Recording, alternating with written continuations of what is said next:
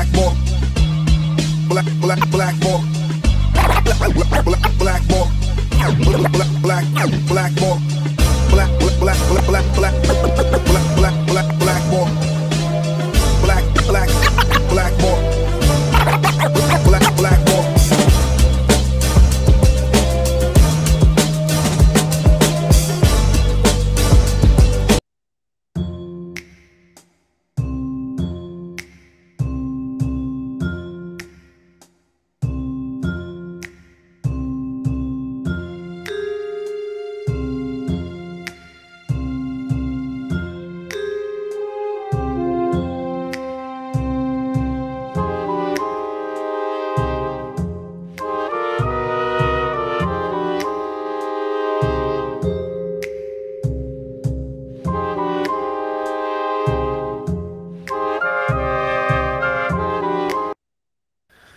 What is up, everybody? My name is James DiFiore, and this is Blackballed.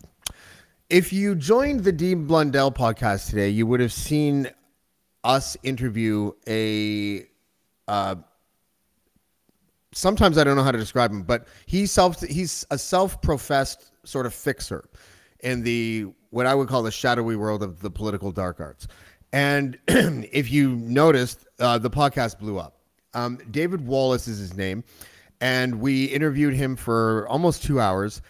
And what came out of that interview, what we've been, what we're able to glean out of that interview was that we live in a cesspool of political corruption in this country, and uh, we live in uncertain times right now. If you're joining me just now, you probably already know that Doug Ford has won a majority in the province of Ontario.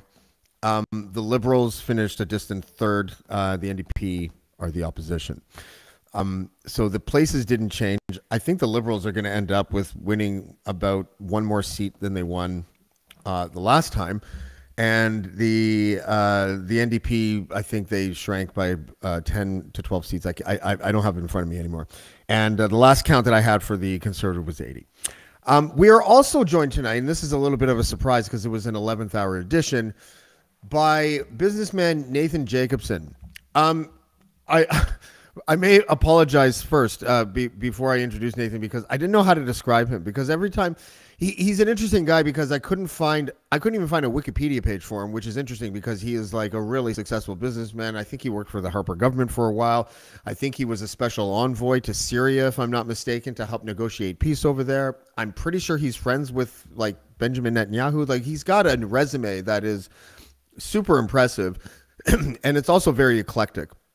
And uh, David actually thought it would be a good idea to have him on the podcast. I, I completely agree.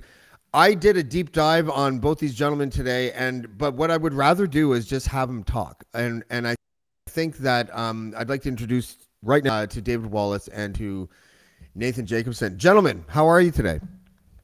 Oh, I, I didn't like the description of me. The word Okay, shadowy, I didn't like. Okay, it, it doesn't mean shady, even though It- they both tend to go where the light is not. Um, but uh, it, it was difficult for me to figure out what to, how to describe you, to be perfectly honest. So why don't I just do the polite thing? And I have no problem never calling you that again, sir. But uh, how would you describe yourself if someone were to ask you, as far as the political arena goes? In terms of the uh, political arena, um, well, I cross uh, a number of spectrums, but uh, I've always done things in terms of what's the the best internationally and for for governments. And I'm I'm lucky that I've had friends in uh, a variety of governments in different countries. I have Okay. multiple citizenship, and uh, I've been lucky enough to to have friends. Yeah, uh, we we all need friends. Um, how did you and David meet? We met through the Patrick Brown matter. Um, I received a call one day from David, and I'll pass it to David to explain uh, how it was and why he called me. Okay, David. Hi, guys. Um, absolutely. I was uh, back from Moscow for about three or four months, but prior to leaving, I had been told uh, by an individual at Gazprom and in Ottawa that the individual I needed uh, to assist me in getting to the bottom of what took place in Ontario during the Patrick Brown coup, um, I would uh, do myself a lot of favors if I hooked up with Mr. Nathan Jacobson. Uh, he would be the only person in Canada who could probably assist me. In fact, he would be the only person who could assist me. Um, those interested in Moscow were kind enough to point me in the right direction. Um, I had heard of Nathan before. Of course, when you were in Moscow in the early 90s, uh, you pretty much couldn't not have heard of Nathan. He had a variety of interests. Um, uh, I believe it was uh, Philip Morris Tobacco, um, um also the GM uh, uh, distributorship, and all kinds of things to do with gasoline and fuel. So I, I, certainly knew of the name. And um, uh, the friends from the embassy helped me cut down on the legwork in terms of getting in touch with Nathan, which I did. So that's where our story picks up. Okay. Now, um, first, I want to also welcome Ryan Lindley to the show. Ryan, you've only done about 17 hours of podcast today, so I hope you're. Uh, you're I was, I was just going to say, I, I, I was just on like a three and a half hour political podcast for the Ontario election, and you took over immediately and didn't give me a chance to pee. And I was not as as important as what we're doing here tonight is. I was not going to pee in my pants to That's be here for the intro. Idea. That's probably a good idea. it's good um, to see you again, David. Good to see you, Nathan. So Hi there. Let, let, can we pick this up? Um, David, you mentioned, I believe it was today on the podcast, um, of a uh, well, maybe I should be asking this to Nathan. D- Nathan, David said on the podcast today that you had um, you you were sort of a political fixture in conservative circles for a long time. Would that be a, a fair statement? Uh, in certain provinces and federally, yes. Let's go with Alberta, and then tell me how it, if there was like a falling out with the current premier, or or did I mishear that today? No, there, there there's been no falling out uh, okay. with Jason Kenney. Uh, Jason is a person who I respect a great deal. Um, my knowledge and experience with him is that he is an honest, fair, and decent person. Um, I believe he's being misled by some of the people around him. And uh, to a certain extent, you know, coming from having been in federal politics, uh, for so long and stepping back into Alberta and doing what he did and reuniting the party, becoming the head of one party, then reuniting the party, then going through another leadership. Um, that he got some hangers on that I think are just the wrong people. They may have had the right credentials at one point, but I don't think that they were doing what was best uh, necessarily for the province of Alberta, nor for Jason. And at one point, I warned him of that, but I've I've never, um, I would never question his integrity. Okay, I read. I'll, I'll reach. I'll happily retract that um, misunderstanding, but uh, it was. Uh, uh, I was going from memory. Can you tell us about the hangers-on and the people that are sort of uh, possibly leading him astray, are off the conservative path? And you can can you expand on that a little bit? Well, I, have met uh, a number of the people uh, around Jason, and uh, again, he he returned to Alberta as a novice. Um, you know, he, he grew up in, in various provinces. His father was the headmaster at uh, the famous Notre Dame Boys School in Saskatchewan, so so he grew up there for a part of his life, and he came back to make a difference in Alberta poli- politics. Um, how he got uh, connected with a fellow by the name of Alan Hallman, um, who to me was described, including by by by Hallman, as Ralph Klein's fixer, back when uh, when Klein was the premier of Alberta, um, and Hallman played a role apparently in helping to get Jason the leadership, and through Hallman, I got to meet. Uh, uh, Gerald Chipeur, and an, a number of, of other people, um, and came to, to learn about them. And uh, their less than ethical people. Uh, Chipeur, I got largely to to know um, through David's relationship with him.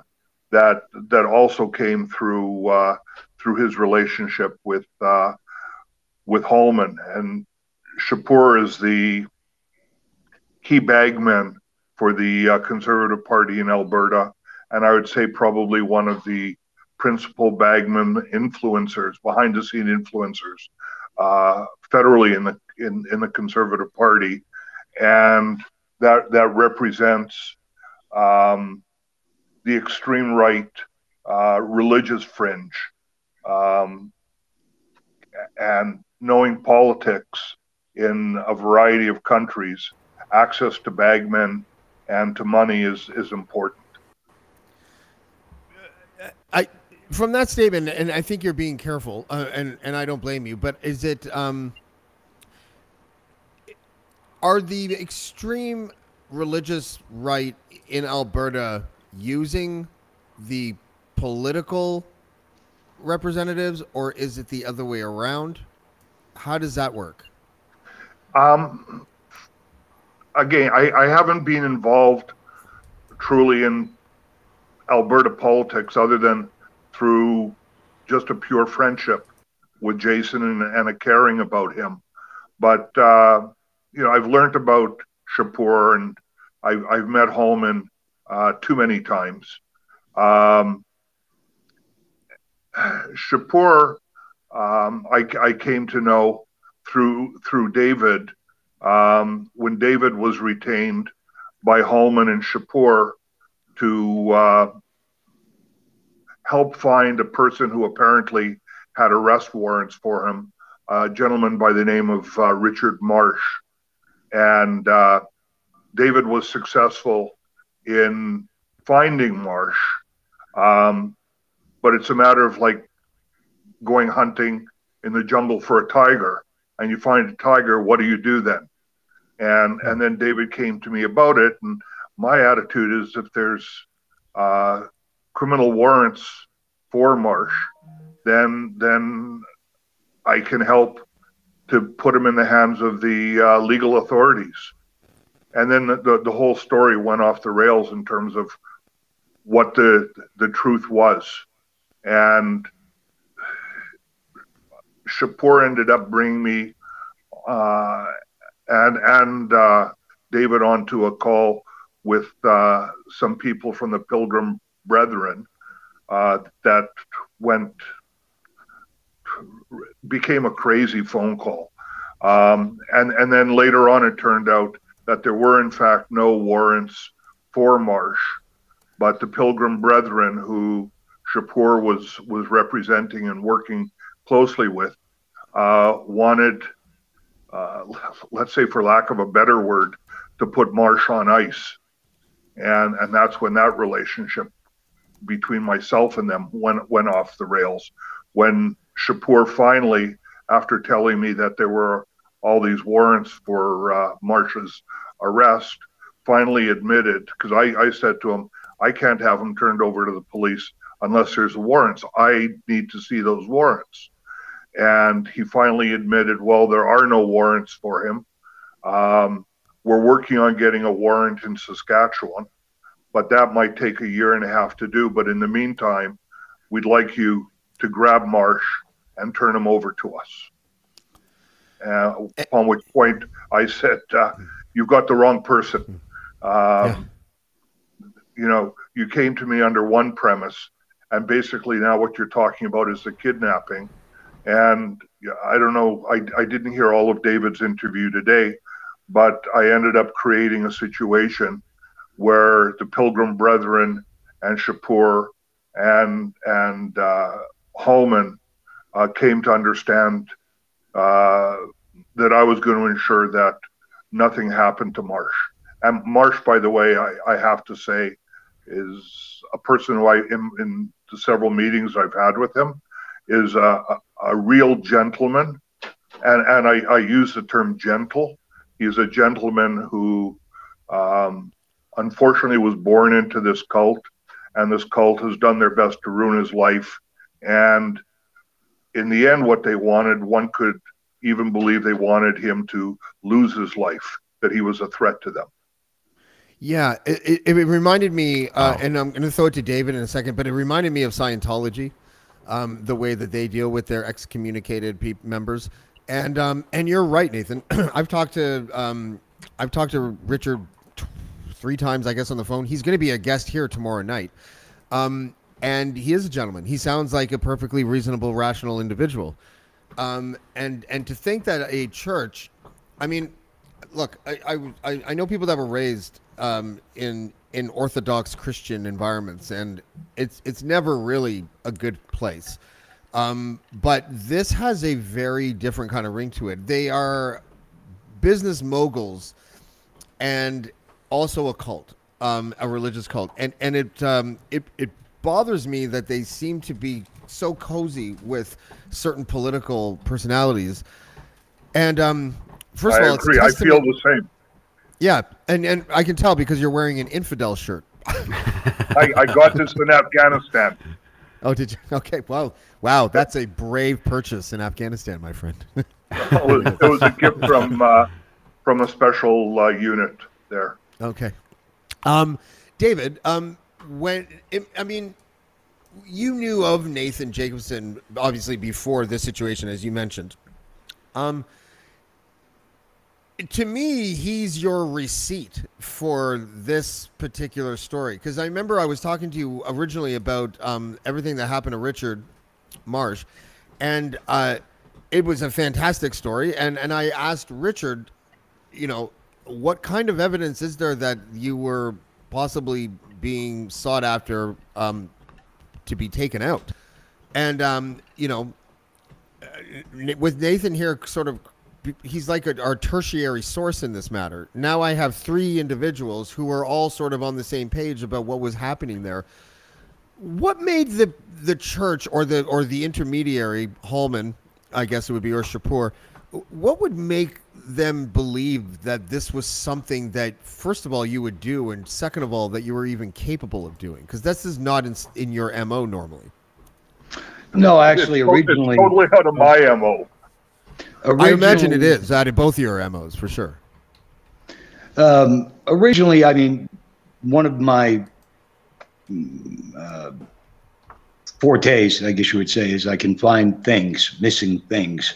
Um, used to be artwork sometimes for people or or uh, something that was hidden. Uh, I figured I could use it on people. Mostly, it was just looking over the work that previous investigators had done and and looking for the holes and once you get that in totality, you can kind of get an idea of what type of personality you're dealing with and how he may think. Um, and from certain uh, information that was in the files going back a number of years that previous investigators had had, I, I got a pretty quick idea of where I could locate him. Not so much geographically, but in what field I would probably be able to find him and uh, work like a charm. Yeah. Um, and it's become this is going to become, um, if I have anything to do with it, um, you know, a story that that goes viral because I know that the church has had a documentary done. I think it was City TV that did like a, a four or five part series about this church. I haven't watched it yet, but I know a couple people that have, and they were like, it reminds everybody of Scientology. Um, now, would you say that because of I, am one of these believers that sunlight is the best disinfectant. Is talking about this in public finally uh, is that something that could, and I'll, I'll turn this to you, Nathan. Is that something that you think could uh, ultimately help save his life? Um, in, in terms of Marsh's life, yeah, I do believe that the more uh, the darkness, and I, I the word church it, it, goes so much against what a church is supposed to be. But the more the the pilgrim brethren are exposed uh, for what they do the safer uh, is the life of marsh and other people who have left the church who the church cannot uh, they're very threatened by uh, by being exposed for, for what they are. and and what we did is we used uh, my non-business background as something to kind of chase them away, and I, I let them know that uh, he's under my protection. Uh, we led them to understand that, in fact, I've taken him to Israel where they, they can't get him. Um, and he, he they, they couldn't go after him. And I, I, I told them straight out, he's under my protection and nothing is going to happen to him. And if, if I'm correct about this, is again, you you were a tough deep dive because um, I, I, I don't know if you're uh, if you're one of those um, you know wealthy individuals that knows how to scrub stories of themselves off the internet. But if you did, then kudos No. because um, no. Well, I, I, Call I- me. listen. The, the rumors, yeah, the the rumors. Please call. Please call. Yes, teach me how to do that. Um, but the rumors of being an Israeli spy is that true? There are yes, there are rumors of that. There, there's uh, there's a, there's a saying in Hebrew, "Go prove that your sister's not a whore." Oh well, I couldn't do that. I'm just kidding. If, if somebody says your sister's a whore, how are you going to prove that she's not? So you know, if a people hymen? I'm just- You said whore, not Puritan. Yeah, I was right. going for a double entendre there. I don't know. if You we were making fun of the church here, James. For Christ's sake. Yes, Yeah, right. so, so anyways, you know, there, I, I'm alleged certain things, and mm-hmm. There's no need to go into what's real and what's not real. Uh, I, I am proud. I, I did have a uh, a good military service in Israel uh, as a youngster from Winnipeg in a good unit. Um, I have done things that are are public uh, for the state of Israel um, that some people would call risky or dangerous, whatever. Um, but uh, there, there's a reputation. Uh, for example, Kenney had been uh, my, with me in Israel on a number of occasions, and for example, I took him to to meet uh, uh, Netanyahu. I organized for him to meet the head of the intelligence service of the country. Um, I got in trouble with my wife when I took Jason and my then eight year old daughter shooting because my, my wife believed that eight year old girls shouldn't be shooting. But um, so, so Jason knew my relationships and had seen me elsewhere around the world. Ryan. I'm um I'm stuck on I'm uh, I'm really stuck on the religious aspect of this and the amount that I thought I knew. I thought I knew a lot of of the involvement that we've we've been talking about um especially like today even today.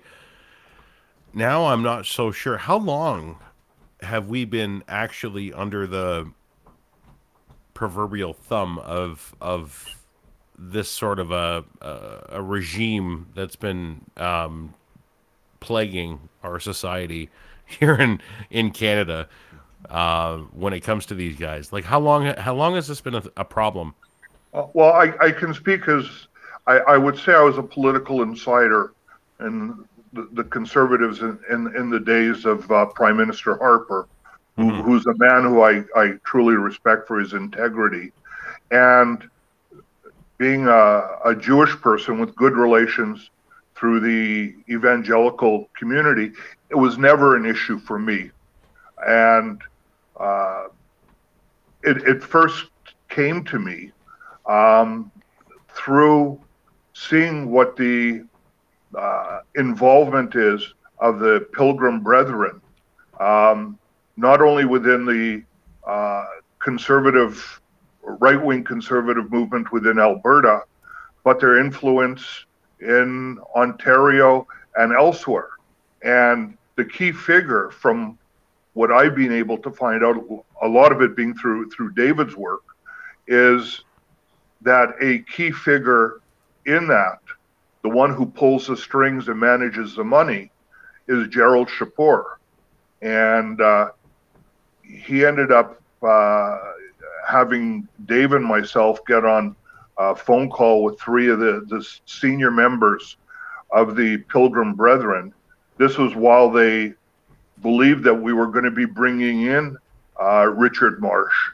And the call ended up being, from their standpoint, uh, seditious and e- extreme crim- criminality. You're, you're talking about they, they, they wanted to pay for a regime change. Yeah. And, and this was Chipeur and, and, and three senior people uh, from the Brethren, um, Canadians and Americans. So you're talking about multinational uh, sedition. To there was an offer made uh, to to name the price. They they had whatever belief that they had that, and and there's been articles come out about my being an Israeli assassin or whatever. And they believe that they had people that were willing to do things for money. And it was a matter of name the price uh, to get rid of uh, Prime Minister uh, Justin Trudeau. And I said, What are you talking about? And they said, Whatever it takes. And Do you have uh, that, that? Is that a recorded phone call? no, I don't record calls. Uh, David is better at that than I am. Um, Always get Yeah. but uh, I, I, I, don't believe it was. But uh, the call ended uh, harshly from my standpoint. Um, I, I know Prime Minister um, Trudeau on, on a personal basis from an organization that I had started up uh, when he was, before he entered politics, an organization that I started up with my friend Martin Luther King III, the son of the slain leader, uh, to bring in children of past leaders. And I wanted a Canadian, and I brought Justin in. And, uh, you know, he's, he's a, a very charismatic, charming person. I don't agree with all of his politics. Um, I, I am a conservative. I'm, I'm a red Tory. Um, but I made it clear that in what they're talking about is, is criminal in nature, and that while I may not agree with uh, uh, all of Justin Trudeau's policies, he was democratically elected by my country, and the way we replace leaders uh, in our country is through the ballot box, Absolutely. and and what they're Yeah, talking about right. is criminal. Yeah, Well, it's not only criminal; it is a fucking scandal because, you know, first of all, can I just say that Can, can I, I like can I he- break in just for a sec, James? Just so everybody's aware. I know uh, it's alive, so like we, we have to talk about breaking news at the same time. Um, Del Duca and Horvath have both stepped down as leaders of their parties. Just as oh we're well, that's speaking. good. That's So only That's new four blood. years too late for Horvath, and, and Yeah. uh, you know, Just so everybody's aware, breaking news: they've both stepped down officially as their uh, party leaders. But sorry, go on. that's the best thing that could happen to either party. in So, this pod, that was yeah, good there you go. Yeah. Well, some Um, good news for the podcast. But Nathan, Let's I- be what- honest. what- I mean, in real parlance, they both got uh, eaten alive by their by their gang, right? I mean, Yep. that's what happened. We need uh, we need politicians that can stand up to this and call call a spade a spade because there's been far too much uh, politeness coming from what I would call Yep. reasonable, decent corners. We need to get angry at this. We need to stand up and say, "This is bullshit. We see what you're doing." We see the deals you're making criminally with these profiteers while people are dying in hospital beds during COVID, when people are getting sick, these scumbags are taking needed medical supplies and they are jacking up the price and making it difficult to get into our country. How many people died because of these bastards? No shit.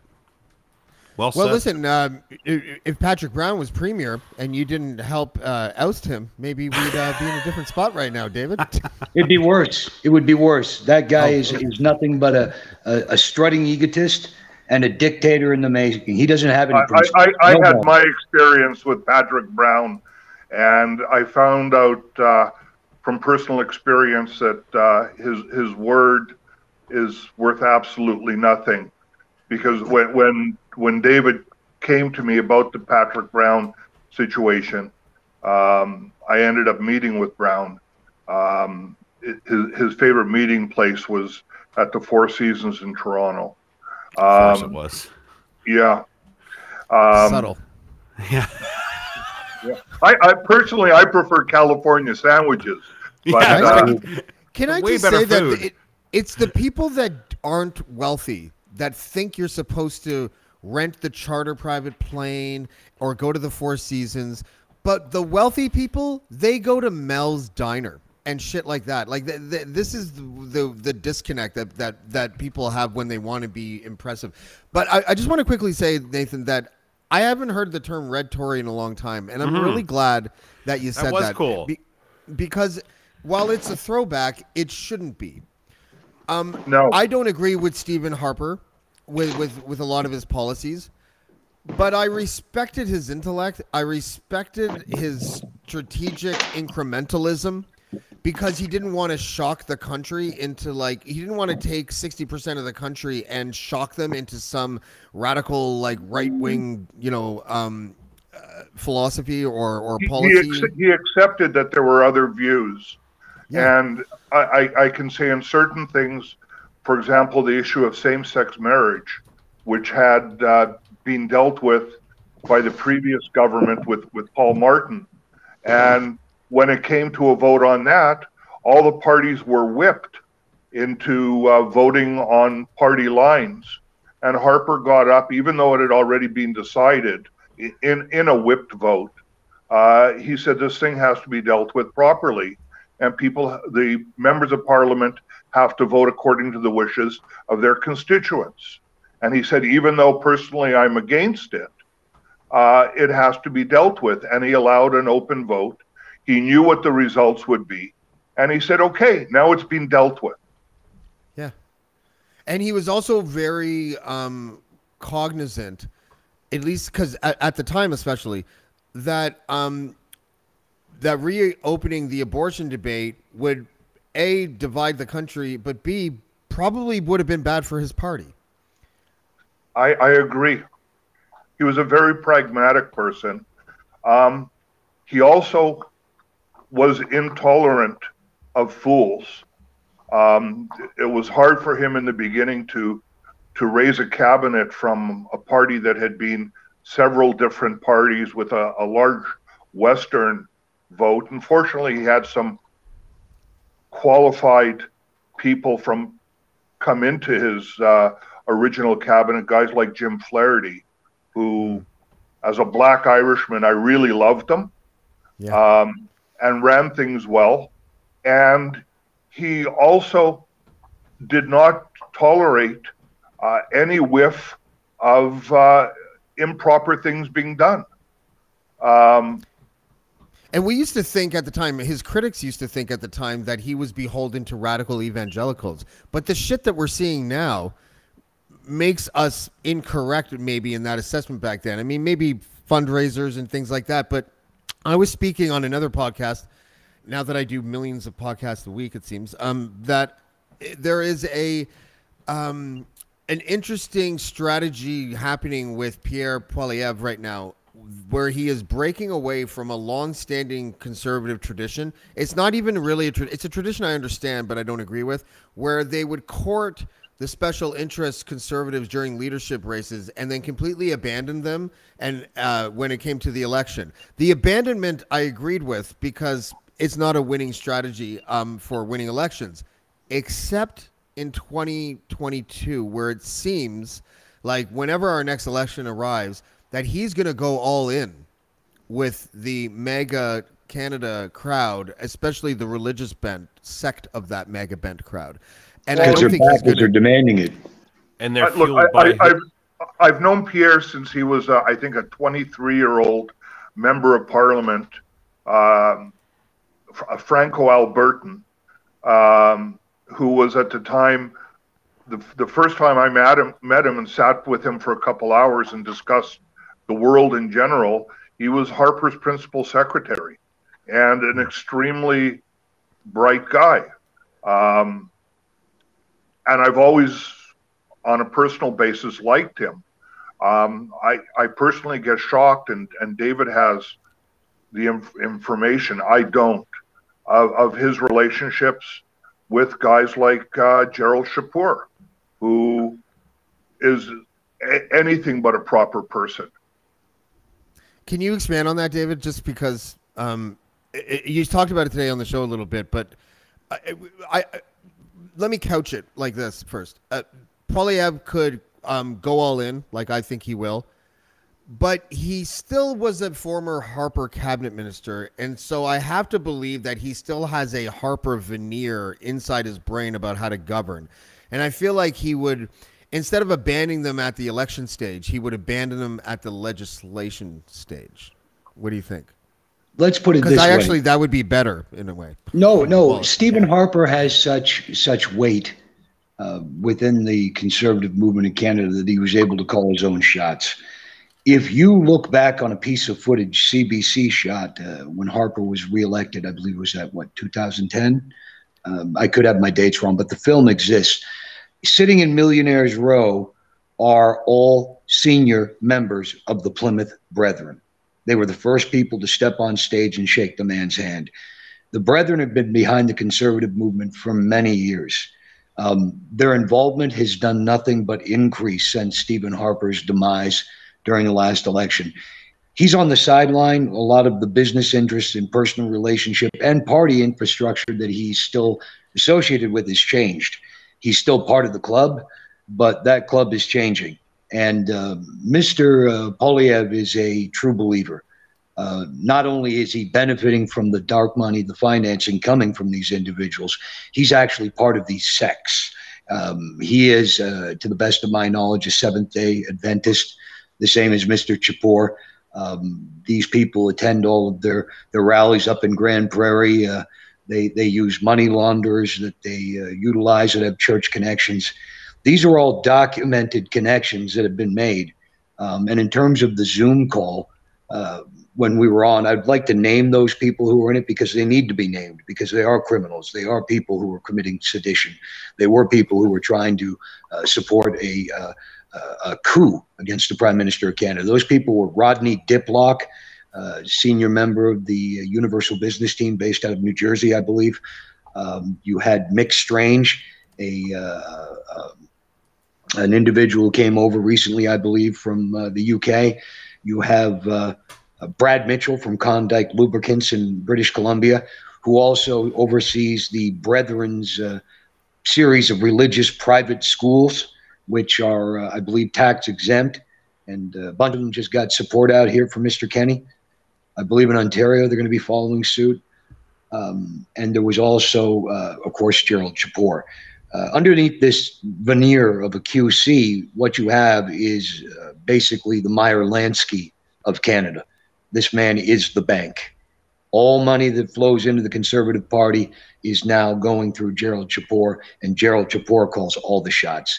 Mr. Harper has a back seat in this little operation.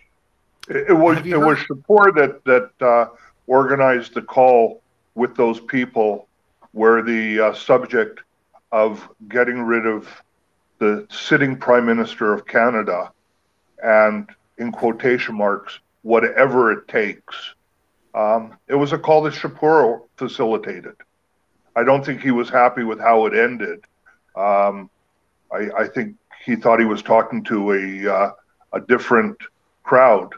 Um, but in this case, David and I talked about it after, and David, by the way, reported it uh, to the RCMP, um, and it just went against every piece of moral fiber that we had. Now, Nathan, just to to expand on that, did they? I know we're we're we're we're we're, we're tap dancing around it because it, it was tap danced around probably in that Zoom call as well. We're talking about the um, potential plan to or or or, or um, uh, to facilitate the death of our uh, sitting prime minister. Is that what we're talking about? Like we're talking about actually like offing Justin Trudeau? Is that what Well, we're? uh, uh, again, first of all, I, I want to say I think it was Brad Mitchell that brought up the fact that uh, it was him and his people that were behind the scandal against uh, Prime Minister Trudeau uh, of his having illicit sexual relations with a student while working as a, the drama teacher at that private school in Vancouver. He claimed to be the one that was responsible for that.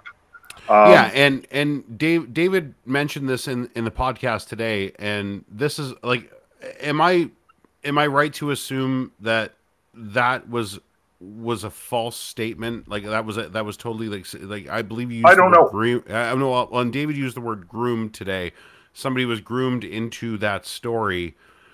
Is is that allegation against our prime minister Justin Trudeau? Uh, it, was that a false story that was like just like a narrative that was to use like to use against him during the Me Any, Too? Anything is possible, but when the way they brought it up, it's like they created that thing to to ensure that uh, that uh, Justin would not win from from a moral standpoint. Well, yeah, the like person, that, the, the person like, brought in did. that made Remember, the allegation. like he was proud of it. They were like, "Whoa, look what we did! This is great." And and then they brought up, you know, uh, we, we want you um, to help us get rid of Trudeau, and it was a matter of what are you talking about? They said, and their words again, name the price. And I said, what are you ta- what are you talking about? And I said, what are you talking about? Get rid of the prime minister. And they said, whatever it takes. And when a person uh, says to me, whatever it takes, and they believe that I have a, a background in certain intelligence agencies known for doing things, uh, one can see interpreted as they're taking it to the extreme.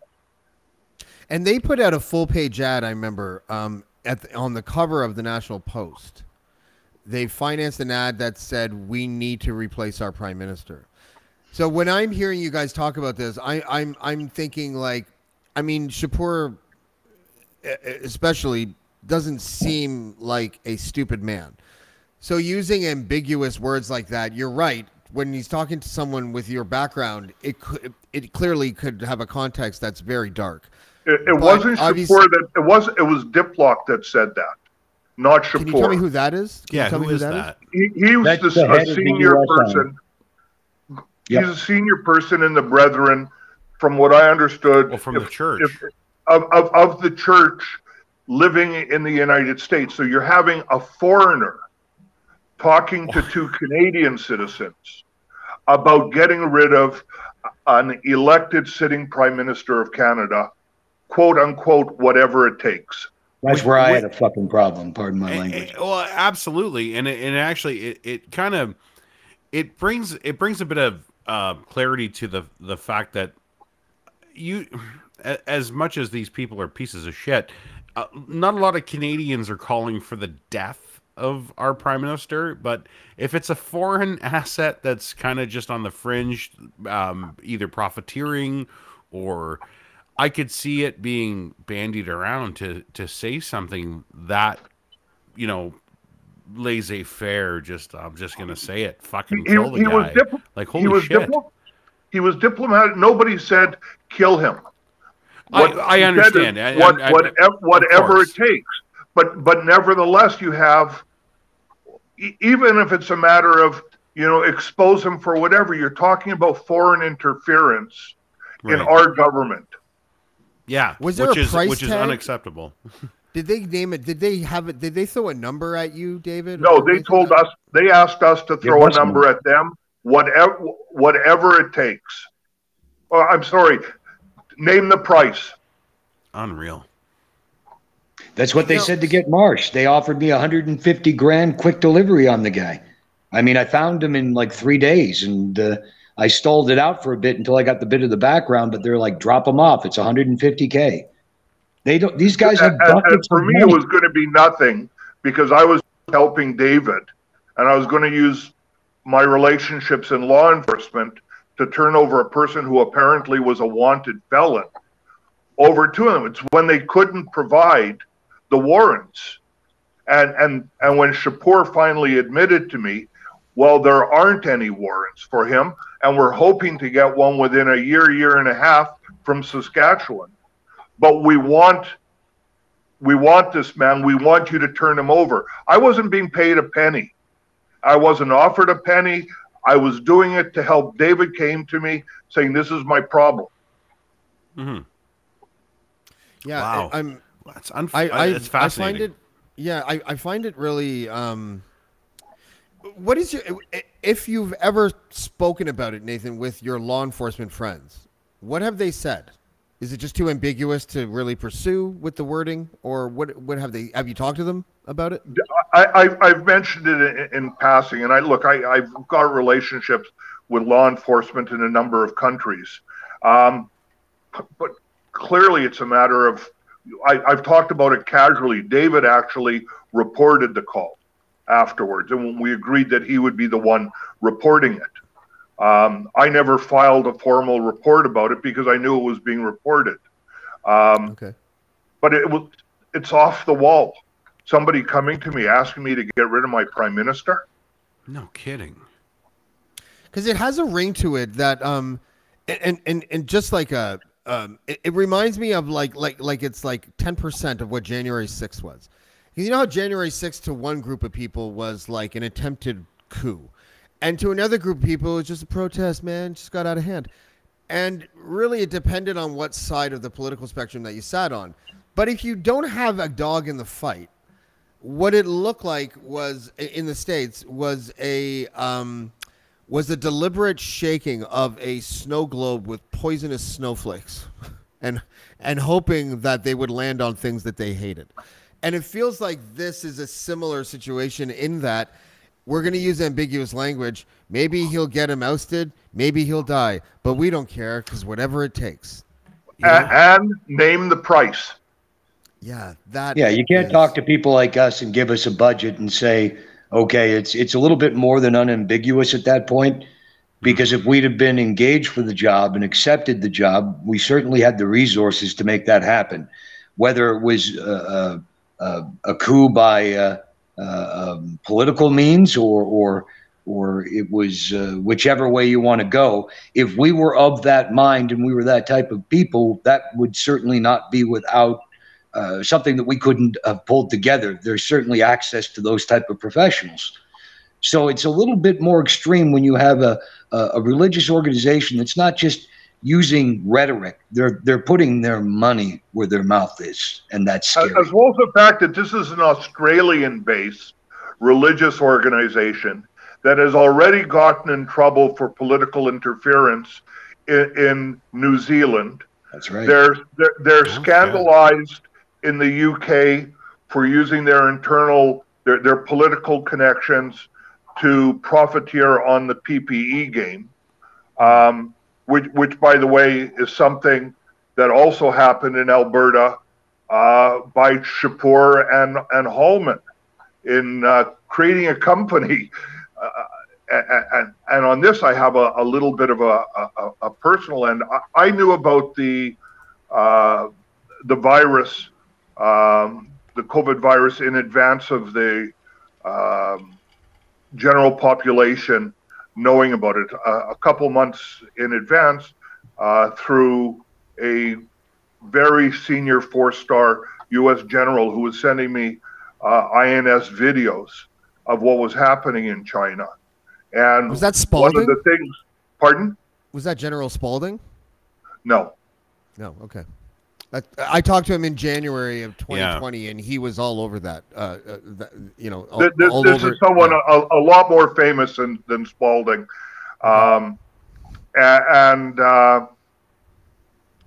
what, one of the things I did with a, a couple businessmen that I y- younger than me, although everybody's getting to be younger than me, um, is, is we, we went out and we got the rights to the tests that were being used uh, by the Chinese government.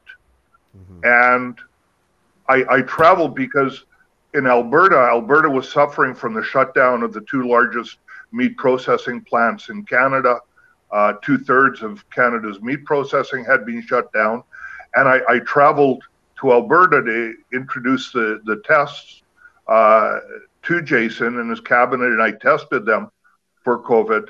And nothing came of that other than my finding out that Chipeur and Hallman created a company from that that Chipeur was holding that had been registered to provide oil services, and they became the provider of tests to the Alberta government.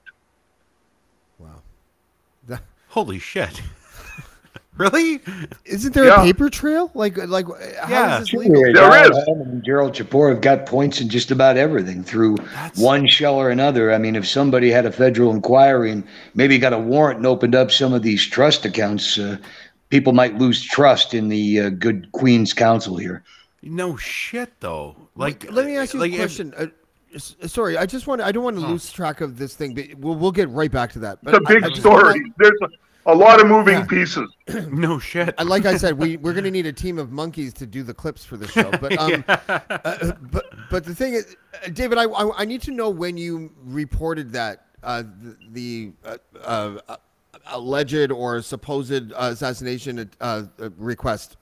Um, I the had been speaking to a senior RCMP uh, um, uh, officer uh, on another matter. Um, Mr. Alan Hallman had been uh, attempting to uh, create a situation where the optics would uh, make it appear the RCMP were uh, guilty of a crime in Alberta.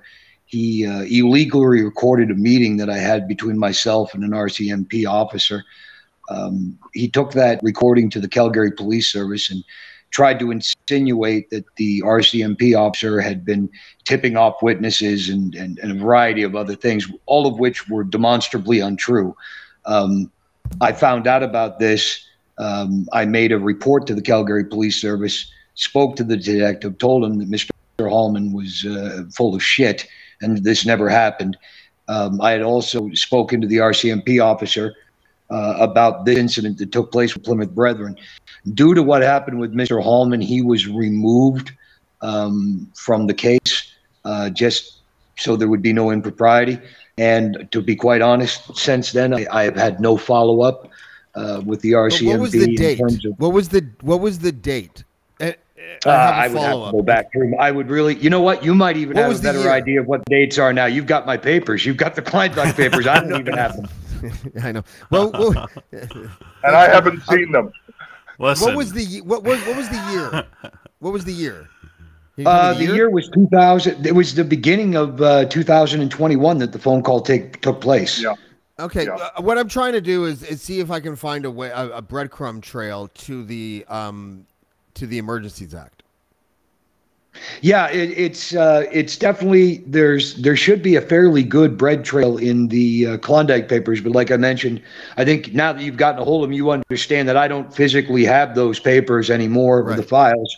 Um, that they're in the hands of journalists, and um, you know they've been uh, off off cited to several different locations just uh, in case Mr. Chipeur uh, wants to use some of his legal kung fu to come and, and seize my stuff, which he's been known to do in a, other brethren cases, which are well documented. Or, or Um, by if you- sending people to you, David, to try to rough you up.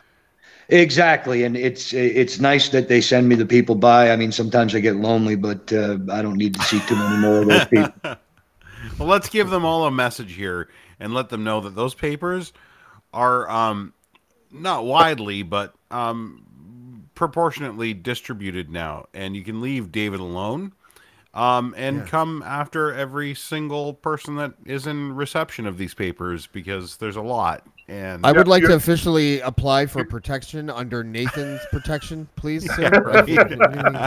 Well, I have two standard poodles that are near me. One's a pup.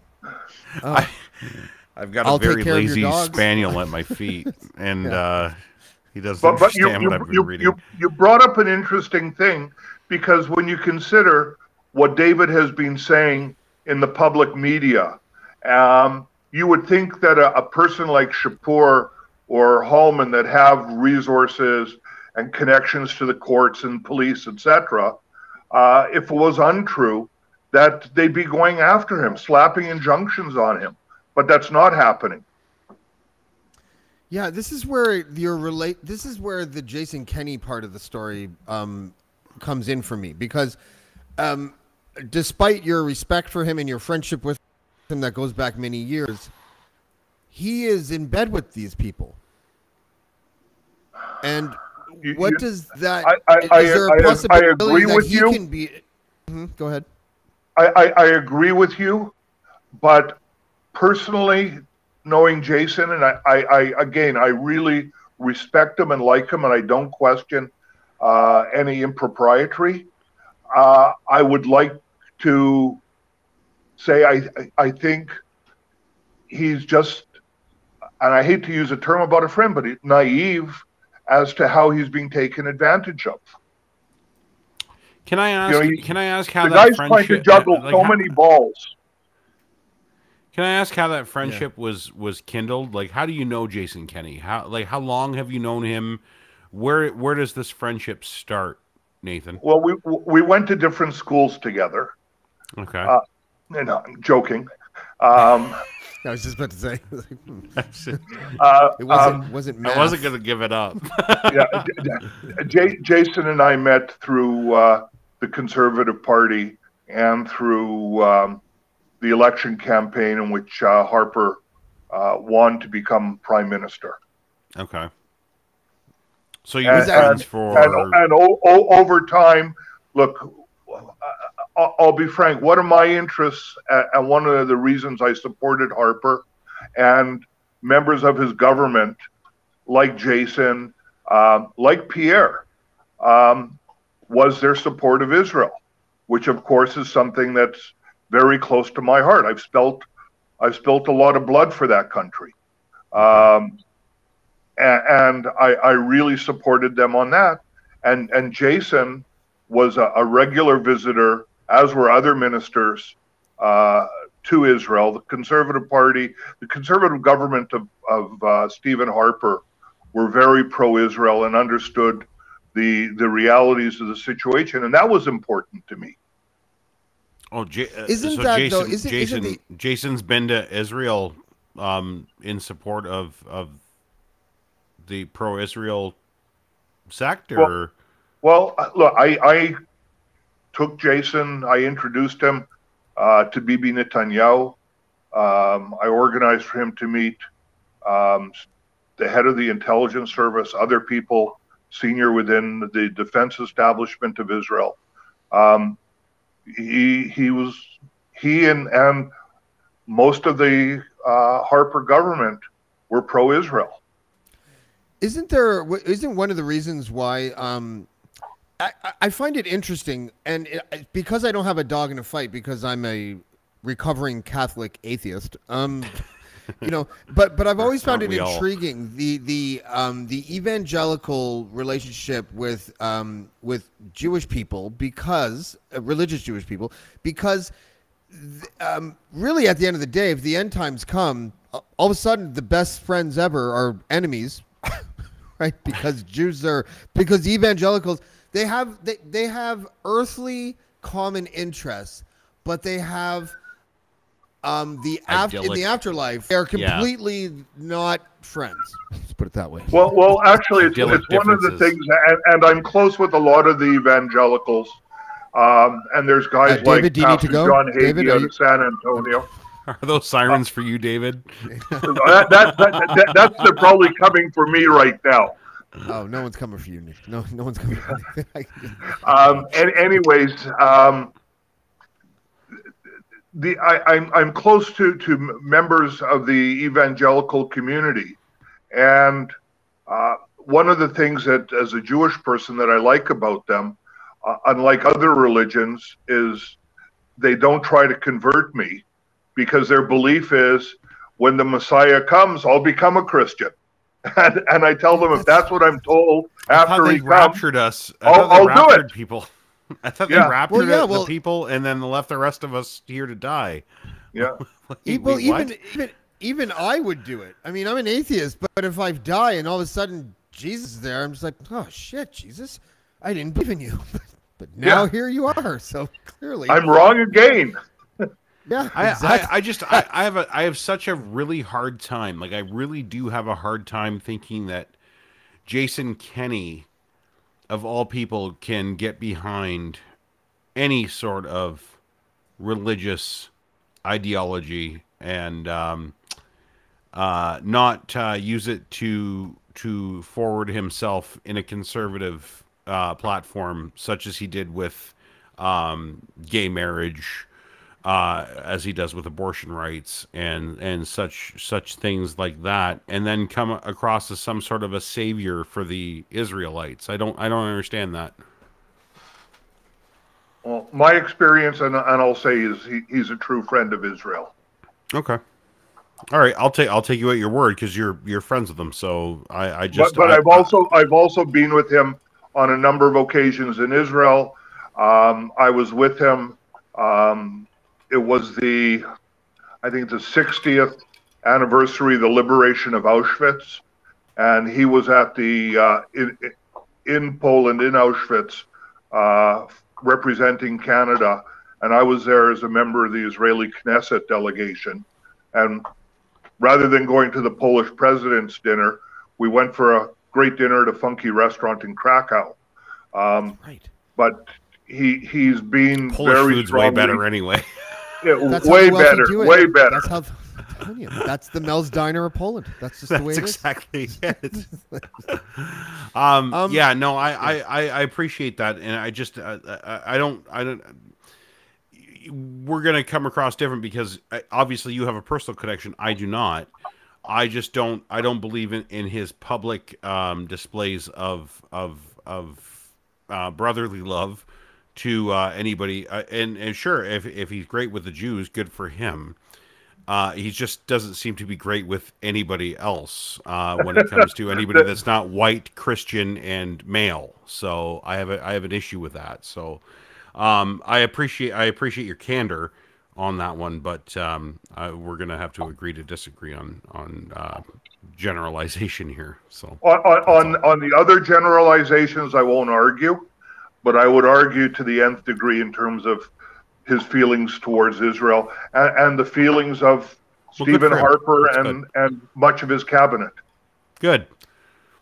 Is Great. there? I mean, he's Catholic, I believe. Um, He's a convert to Catholicism.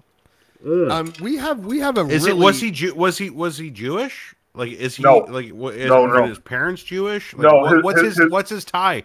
What what actually what what provokes him to be such a a, a pal to Israel? Um, I think his belief of what is right, looking at the only democracy uh, in the region, his having been there, having been among the Arab communities there, the Christian communities there, the Jewish community, uh, seeing a uh, a country um, that that truly is the only beacon in the region, and I've, I've been to every other country um, in the area. Um, he, I, he really- I understand you have. I'm talking about him. Like, is it because of Papa Harper, or is it because of some No, sort it's of because like, it- res- it- it's- revelation that he's had? it, it's sincere. He look, he was there uh, a number of times that I know of uh, in advance of Harper ever being there, and he was the first person from the Harper government to have met met with uh, Netanyahu. He was the first person to have met with uh, the head of the intelligence service, members of the uh, defense establishment, social establishment. I took him to meet the chief rabbi, and he spent time with him. Um, What year was that? It was over a number of years. But um, what was the first year that that happened? my guess is about 2010, thereabouts. So that was a relationship before Harper had with Netanyahu and and the Israelite. Yeah, I, I was the one uh, that at the time created the direct relationship with Bibi. Nice. Okay. Ben, Benjamin Netanyahu, for those that don't know, was like a legit war hero. Uh, he didn't just Um, come out. Uh, he wasn't a political animal like from the very beginning, but like he he was. At least He- that was his backstory. It could be like wrestling, he- you know. Like No, his he, he backstory no, I'll, I'll tell you. B- Bibi served, he and his two brothers served in one of the top commando units of the country, uh, the country called Sayeret Matkal, the Central Command Reconnaissance Unit. His, his older brother, uh, Jonathan, uh, was killed on uh, July 4th, 1976, commanding one of the units in the raid in Entebbe. He was the only Israeli soldier killed in the raid. Uh, Bibi, uh, he he had a an, an honorable uh, career. He's he's fought for Israel. His father was was such a right wing politician when Israel was being run by the left that the family moved to the United States because his father couldn't get a teaching position in Israel, and that's why Bibi's English is so great. As well as having a degree from MIT, he spent part of his growing up in uh, in the U.S. But he, he he's a genuine fighter, and and I, I can tell you about all the wrong things about him as as we all have, and I can tell you about the good things about him. Yeah, Yeah, we're not we're not here let's- to solve the Middle East peace crisis, but I'm I'm I'm I'm more concerned like at about least the, the, ten the- minutes. I, we can we can do this in eight. We can start. Yeah, Yeah. Of course, it's always a good start, but I, I I'm just I'm just more um I'm more interested in, in your in, in the conne- the the Kenney connection to that, where I I just don't I don't s- I haven't I haven't seen it. I haven't seen any like why was this not so publicized that this should be it should like coast this guy into majority territory every single time he steps on the stage. Well, look, remember, Jason did a, a great job. Um, he held a, a cabinet position for a long time as Minister of Citizenship, Immigration, and Multiculturalism. And, and nobody in the history of the Conservative Party worked as hard in the area of multiculturalism as Jason did and, and built bridges um, not only with uh, the Jewish community, but with the Sikh community, so many communities. He was a, I don't know how many rubber chicken events he went to, but uh, I, I've never seen anybody better in, in doing it. Uh, Patrick Brown, I think uh, David will uh, admit, has done a great job in getting uh, the support of certain minority communities uh, in Vaughan and Brampton. But uh, Jason really worked hard at building bridges with the minority communities. The one I'm most familiar with was uh, the uh, the Jewish community. Although I was also with him, uh, sitting with him at uh, a, a big event that was held by uh, the Christian evangelical community in Toronto. Do do either of you happen to know what the relationship between the um, the Plymouth Brethren Church and uh, and Jewish organizations? There's none that I know of. There's none that I can imagine. Uh, David can give you a, a, a, a, more precise answer, but as, as a person who's been active, I'll, I'll tell you, personally, I had never heard of the Pilgrim Brethren until the matter came up with Marsh. Uh, never heard You of have them. you never- you haven't heard of it to the point where you don't even know that it's Plymouth. Plymouth Brethren. Yeah, you, I, true. that's that's pretty good. Yeah, no, yeah. That it- man it- is it- telling it like it is. Yeah. It's it's real. I'd never heard of them until Marsh, and Right. I, I was shocked when I was hearing how what they would do to both people who remained within the church in, in, in governing them, and then to to those who dared break away from the church. So Marsh was was my first experience with it, and then through that, learning about their extreme right wing political agendas and their willingness to use their money, which seems to be very, very deep pockets, to um, to to guide uh, the right in the way that they see should be well, done. that's the thing. That that Yeah. the reason why I mentioned it, and I'll throw it over to you, Ryan, because I think I want to get David back into the conversation Yeah. on this point. Um, is that uh, w- first of all, there's no long game in in in in this um, entity trying to prop up uh, conservative politics. And the reason why I think that's true is uh, why there is no long game is because, like, the this the generalization of the convoy protester of being a white supremacist. Let's just say there is a faction of that group that's white supremacist. Okay, it's Okay. not not really much of a Yeah, stretch. it's not. so it's let's not just- the majority, yeah. but yeah, we'll we'll Yeah. say that for sure. we'll say that there's a sect. yep. One of the principles of being a white supremacist is not liking Jewish people at all. Oh So, yeah, like that's you know the basis of it. So there is then this interesting and awful kind of like divide probably within conservative circles between that extreme right and this new sort of extreme right where it, it's like or sorry where, where, the traditional conservative allies of like Jewish organizations and evangelicals I, had- I I have to say at the time I was not very comfortable with because I'm a non-believer but the way that it's being fr- but the way that it is now it, it I, I- I would love to just run back into the waiting arms of the evangelicals. you know what I mean? Like, and, and I don't seems really want to do that. yeah, They're okay guys. arms. Yeah, yeah. It just sounds like. It, it Just, just- just don't go drinking with them. I don't drink anymore. they're not allowed to drink, for Well, neither they? do they. Yeah. Okay. I was going to Yeah, say they're not allowed right, to drink. But I if do, do, magic mushrooms, and I would love to see religious people on magic mushrooms. That would be amazing. I don't know if you would you would join me on that. I thought you'd have to be the, high to be that the, the religious. Macy's St. You're right Patrick's though, Day Parade. David. I'm with Yeah. you. the Macy's Day Parade. Yeah. Um.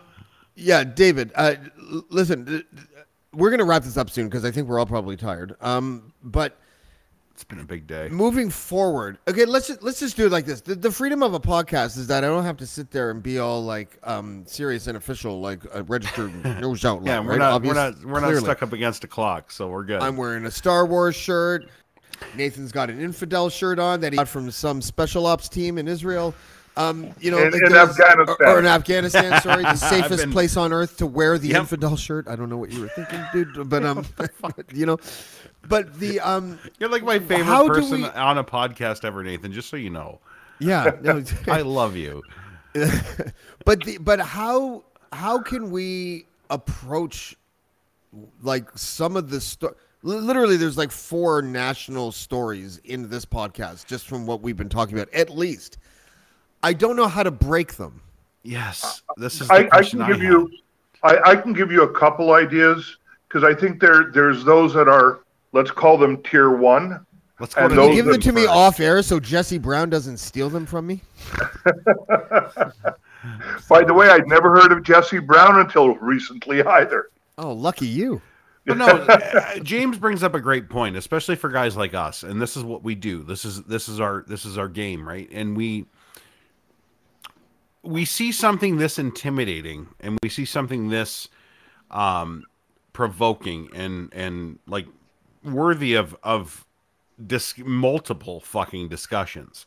Where do people like us start? Where should we actually start this? Um, ex I don't want to use the word expose because it seems so fucking New York Post. Um, where do we start this this in this dive into into trying to tell people in our like our comment section uh, our, our our socials are exploding because of David being on the show today. Where do we start, David, to to tell people what's going on? You got to follow the in- money. I mean, these religious Which you support. organizations, these religious organizations, they exist as front for profit. That's what they are. They're not. They're not faiths. They're not uh, opportunities to get closer to God. They're opportunities to get closer to money. Um, so you follow the money. You go through the public registries. You go through the the the lobbyist lists. You go through the subsidiaries, the businesses, the shell corporations that these churches and religious organizations own. Pretty soon, a very coherent uh, picture emerges, and you can point your finger. You can narrow them down. Um, there is a handful of people at the very top who are controlling this fascist movement right now. And when people say that, uh, you know, uh, Ottawa wasn't really in danger, let me make it perfectly clear. The tools that were used during this co- convoy, the supposed organizers, maybe they had an idea, Great. Maybe they got started, but trust me, on every level, that was hijacked within minutes. There were people who were well organized, well funded, who had a goal in mind, which is to create chaos and was to make the uh, appearance that our government was paralyzed. This was forced. This was the prelude to conflict. People need to wake up to that fact. Part of my job for the last 30 years is to be in every shithole third world place I could be that would pay me the money. We engineered these things. We know what takes place. We know the mechanism because we're part of the machine. And what I'm telling you is, I didn't like to work in Canada. The Patrick Brown job was uh, an exception, and I, I, I, I'm sorry I ever touched. It. I'm sorry I ever got involved because when I came home from work, I felt like I could kind of escape and, and be a normal person in a normal country that wasn't ruled by crazy people um, that that worship uh, whatever God you want to name, uh, whatever religious doctrine they may have, but it's always about the money and it's always about control. And when you find people like these aren't conservatives we're dealing with, these are fascists, and I think that's important to to make that distinction. Um, I have con- certain conservative leanings financially, uh, you know, with the economy, but that doesn't cut off the fact that I'm a human being and I don't expect people to live exactly like me. And you know, whoever you love, you love, and uh, you're not hurting anybody. What do I care? Um, I'd like to see progressive politics with with conservative fiscal responsibility thrown in, but that's not what this party is. It's been hijacked. And if you follow the money and you and you look and see where these monies are flowing from and where they're flowing back to, you'll understand that our conservative opposition is a foreign conservative opposition that's bought and paid for, and that's indisputable. Yeah, Good point. And listen, I I, I think one very good point, I- and I think one of the things that the media is doing people like Ryan and myself a big favor by literally never reporting any story that's really worthwhile. You know, No shit. like they are. Al- they- they would- although when, when you figure the allegations of the uh, current residents of, of Sussex Street in, in in Ottawa as supposedly controlling the press, it's a narrative that is very much to their advantage, but yet the mainstream media is ignoring it. Exactly. Exactly. That should tell people a lot about who controls the media in this country.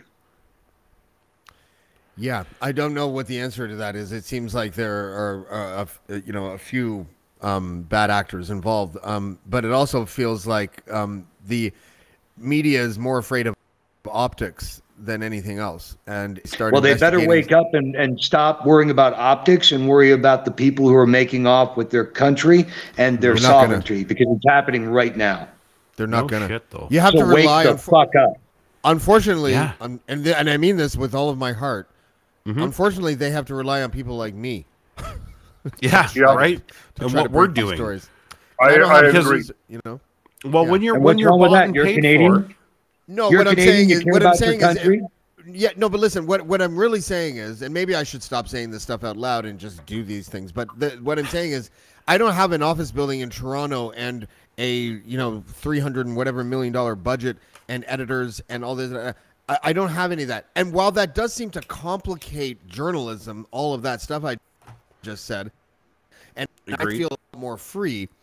It, it becomes a really difficult thing. And- And look, at I have the courage, to, and and I I will make a pledge here to try to break every story I can inside that inside the the Klondike dossier that I have, and and and do mm-hmm. it the right way. I don't want to get killed, though. you know what I oh, mean? Like oh, I, oh, I don't. Oh, oh, oh, You know. I had Go that ahead. same thought today too. Just so you know. to, to, to, to go to what, what you're saying, no, you don't have the resources of uh, of skyscrapers and unlimited or a- any government budgets, whatever, which you know gives you the freedom.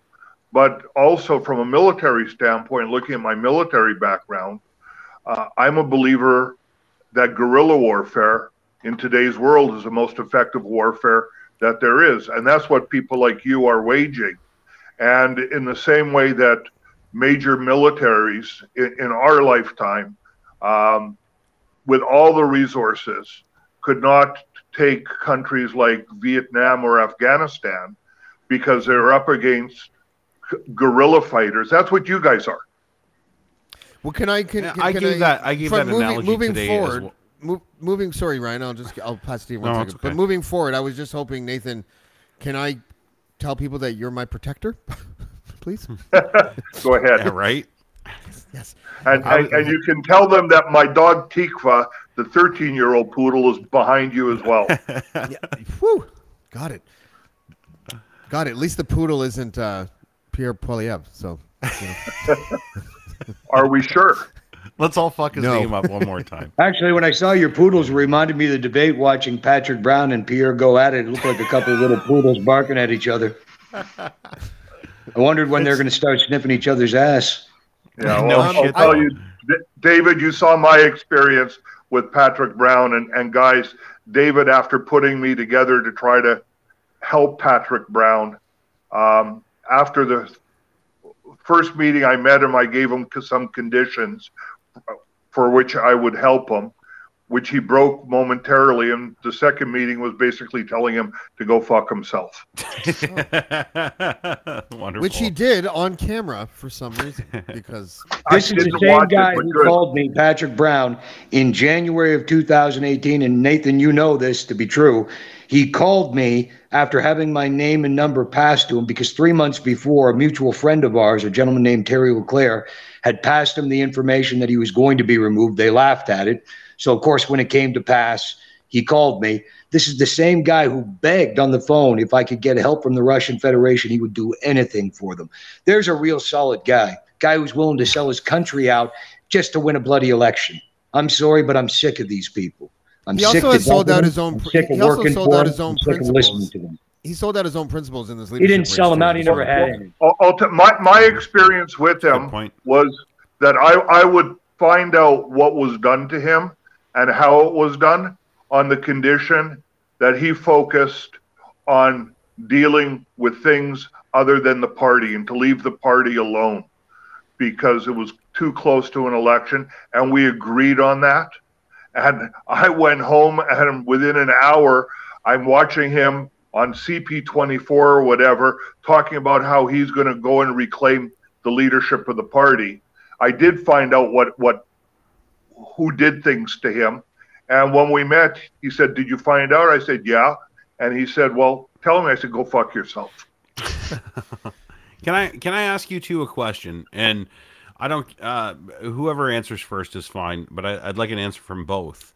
Ooh, and the question round. is, how do we how do we go about in the position we're in now and what we know and where we like our actual stance where where where we're sitting here as a as a country as a province as however you want to look at it how do we fix the conservative party tomorrow like if we were to if we were to go out tomorrow and say i want to bring some credibility back to this party how do we do it You might want to find some conservatives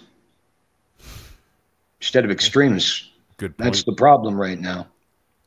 It- they've Um, they've gone they've gone hard right is what you're thinking dave Uh, They've, is they've gone beyond hard right. They've they've gone into open revolt. I mean, when you have groups of people advocating for for you know the removal or the murder of a sitting political leader of a country, you've crossed a line that you can never get back over. It's over at that point. You've lost your mind. You've lost your your way. I mean, my whole career, I was always willing to go a certain to a certain extent, but if you keep selling pieces of yourself, if you keep keep breaking rules that you have for yourself, then you end up worse than your enemy. And that's the position that these people are in. I mean, you have to somewhere draw a line. yeah Do you disagree with your political enemies? Uh, sure.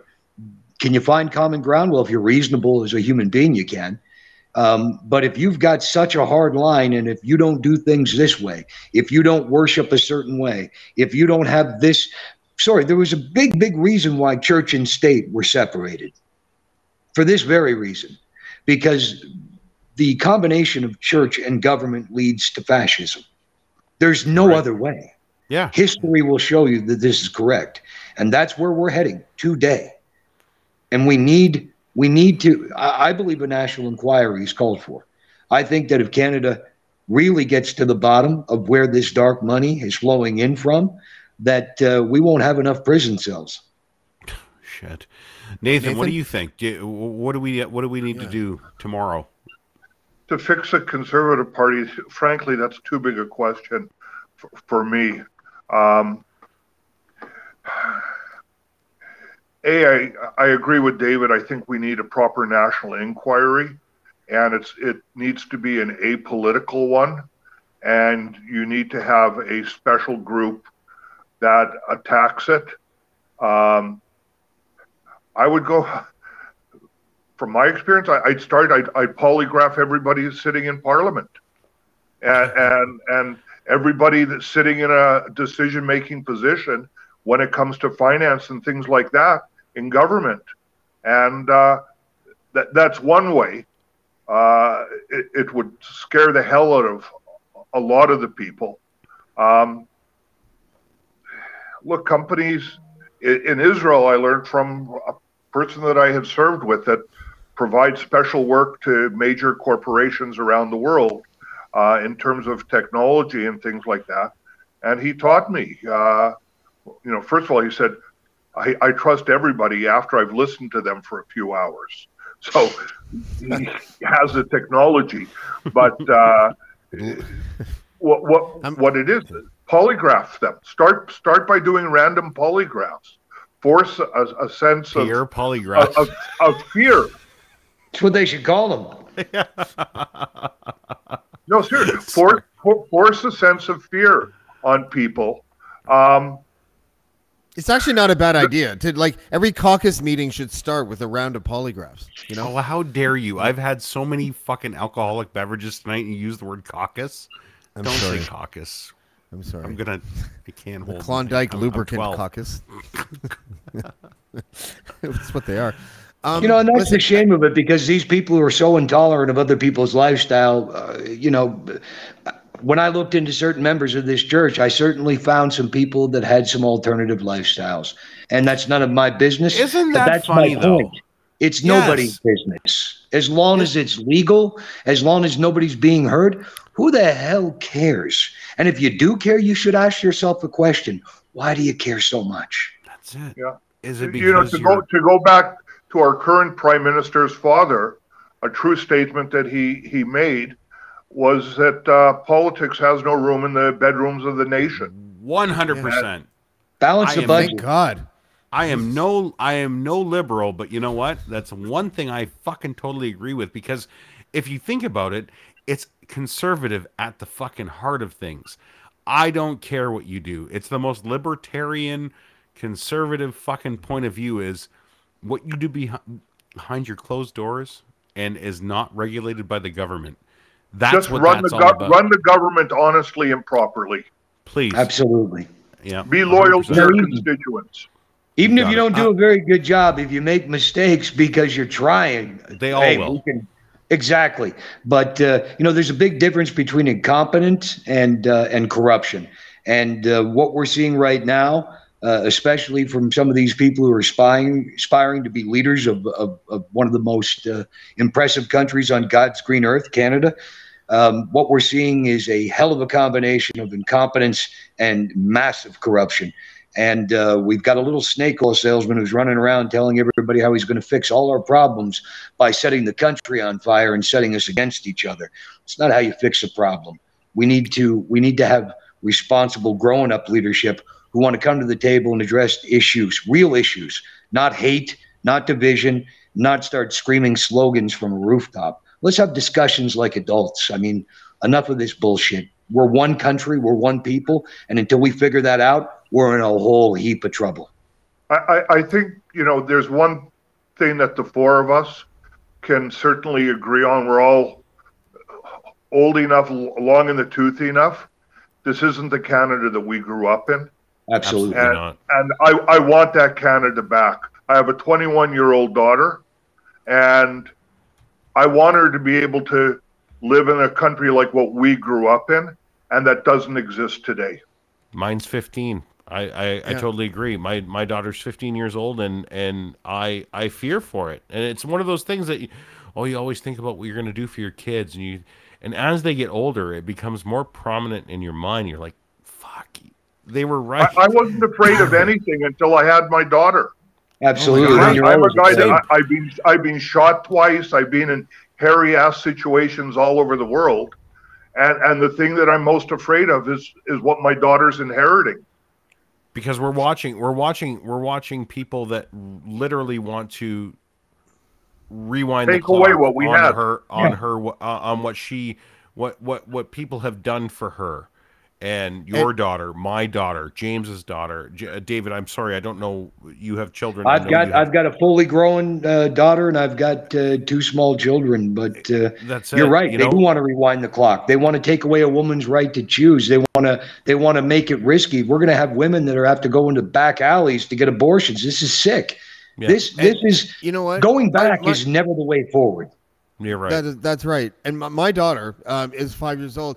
She already has to deal with all the pressure of being the most beautiful child on the planet. Oh, so look- I don't mine really is- know. look at that you know, face She's precious. That's you gorgeous. Dickhead She, She's just because you run the show i would have totally I've, i could have put a picture of my kid up you The, the only the only Yes. question I have is the perfect who- who- podcast to do that. What the fuck was I thinking? I, I my my question looking at you is horrible.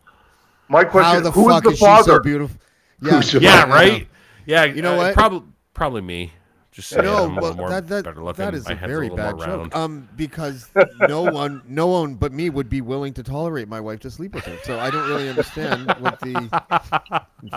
But we She as must not be Canadians, we owe your near daughter, we, we owe your kids, we owe my kids, we owe every kid. You're we right. owe them all a Canada that is safe and and and progressive. That And we and got, we did it. yeah, we had that. we we owe them. We owe got it. them. Yeah. And if No, we I- keep going down this road, that's lost. Yes, sir. Well, listen, uh, guys, I, I got, um, I think we're gonna wrap it here. Uh, first of all, it's twelve oh six. Um, Nathan, I was told by David that your bedtime was about a half an hour ago. Um, I'm not sure if that's true. Well, but, um, you know, I, I, I, I'm sipping on my warm milk as we talk. Me too. by warm milk, I mean Can I please- whiskey, and by I- I want your a little shirt. bit, I mean a lot. I want the Single malt? somehow. Yes, yeah, that's right. No, Canadian Um, whiskey. But listen, I, I would love to have both of you on again. Nathan, if you'd be willing to come back, that'd be great. I also want to keep our communications open because, uh, you know, to, to the audience that was, dude, like we we've maintained basically the same audience from the beginning to end, which is amazing. Um, I, I I will make it my mission um, to to break as many stories from this dossier as I possibly can in a way that is professional and in a way that is in your face. I'm thinking to myself right now, what would the conservatives do if this was all reversed? And they would be attacking relentlessly and rightfully so. You know, if And it would be on every gonna major platform too. We if someone was never going if someone talked openly about offing Stephen Harper, there is not a chance in hell that that wouldn't be a national story the day after it happened. Shit. You know, and I just Uh, feel like that would be the right call too.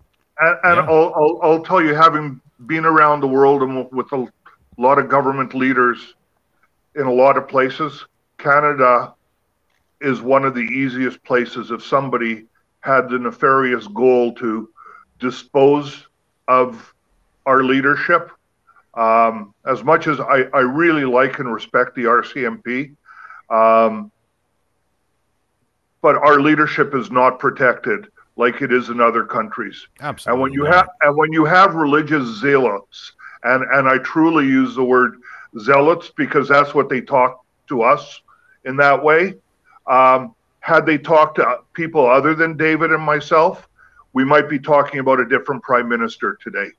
And what what you know, That's I, I like. I like Justin on a personal basis. I'll disagree with him politically on things. I'll have discussion with it, but he's my prime minister. Yeah. That's why I, I was That's a always fair like, the- statement. The, whole the whole fuck Trudeau flag thing was always to me like, listen, I know there's more important issues than profanity, but this says a lot about you. You know, if that's and the it's flag and, that and it's that identity politics that we have as Canadians have never subscribed to in the past, and we've literally picked this up like a virus from our neighbors to the south.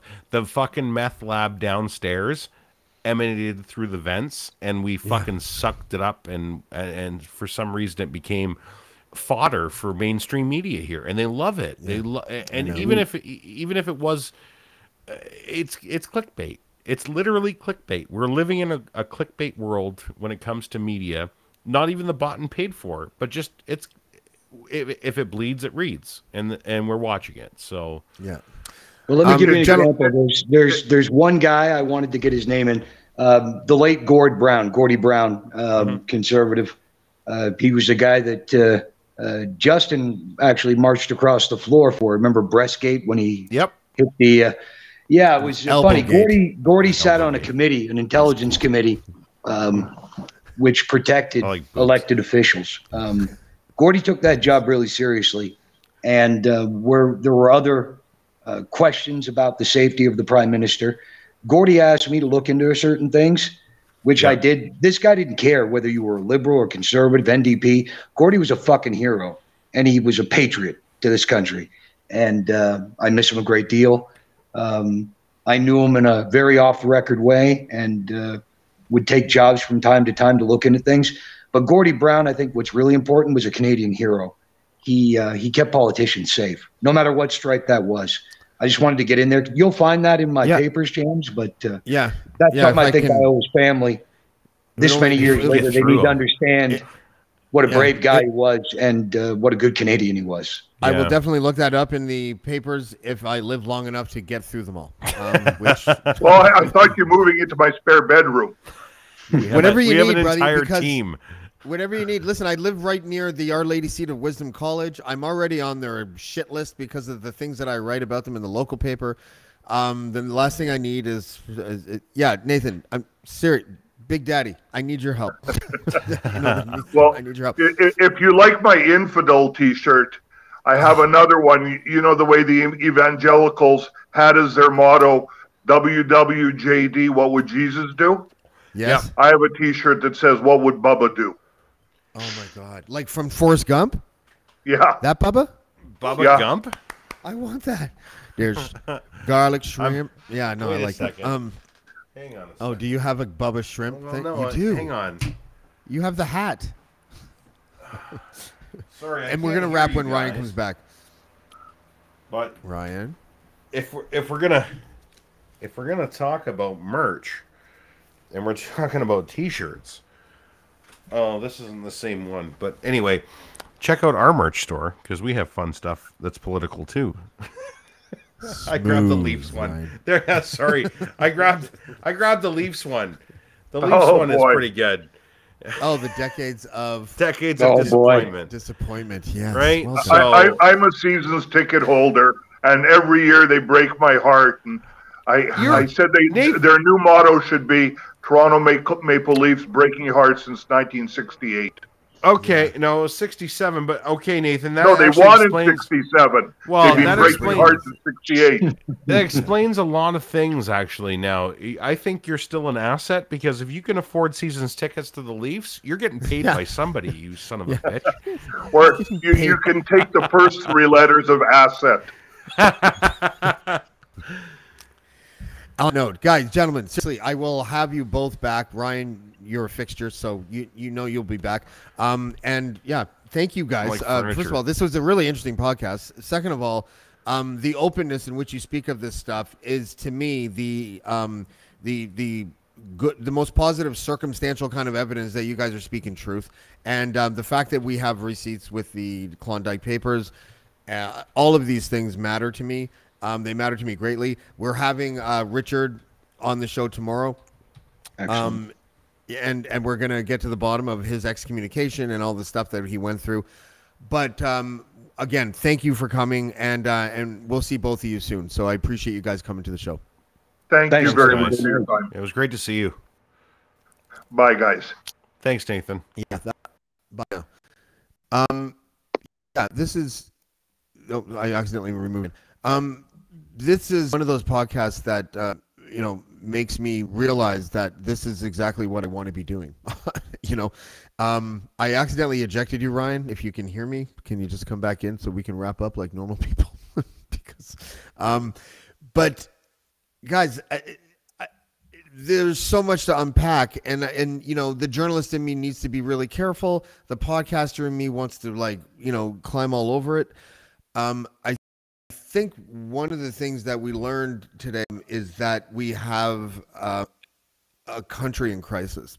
Um, our politics, our media, you know, our electorate.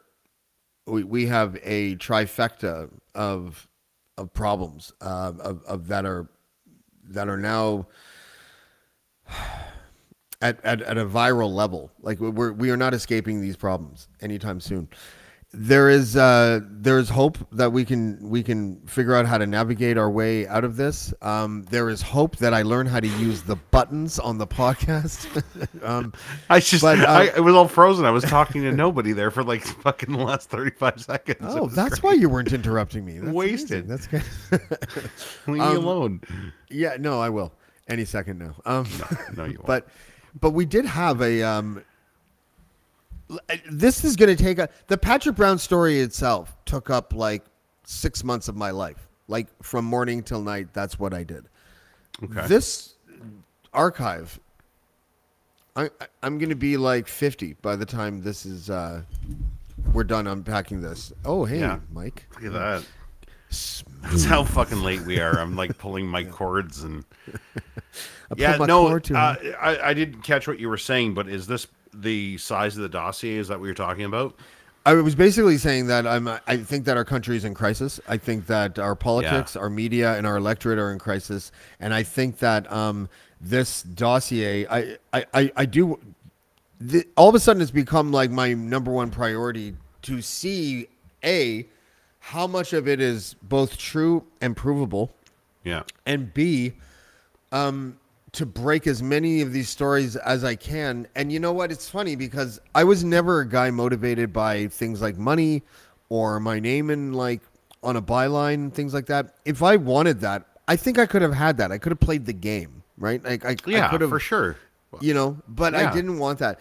I am like genuinely worried about our country more today than I was yesterday. Same here.